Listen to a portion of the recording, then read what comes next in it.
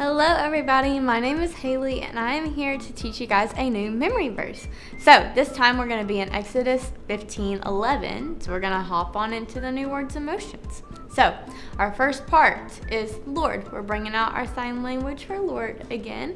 We're just going to make an L with our fingers, going to put it at the top of our shoulder and we're going to bring it down to our waist. So Lord.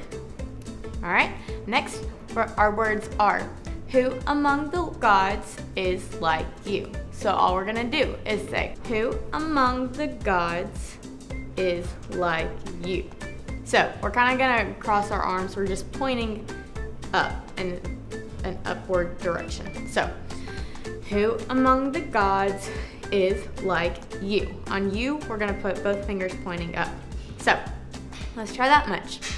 Lord, who among the gods is like you. Our next part is who is like you. That's all we're gonna do. So it's kind of repetitive, but that's our second line. So all we're gonna do is Lord, who among the gods is like you?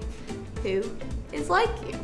There we go. All right, next part is you are majestic and holy Gonna kind of stick with that same motion. We're gonna move in an outwards motion for each word, majestic and holy. So, Lord, who among gods is like you?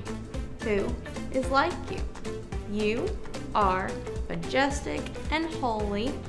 Now for this next part, we're gonna say, your glory, just shake your hands at the top, uh, up. your glory fills me with wonder. So we're gonna make it kind of a fluid motion. So all we're gonna do, start at the top, bring your arms into your chest, and then bring them back out and shake them to the side. So, your glory fills me with wonder. Alrighty, so let's try that much. Lord, who among the gods is like you? Who is like you? You are majestic and holy.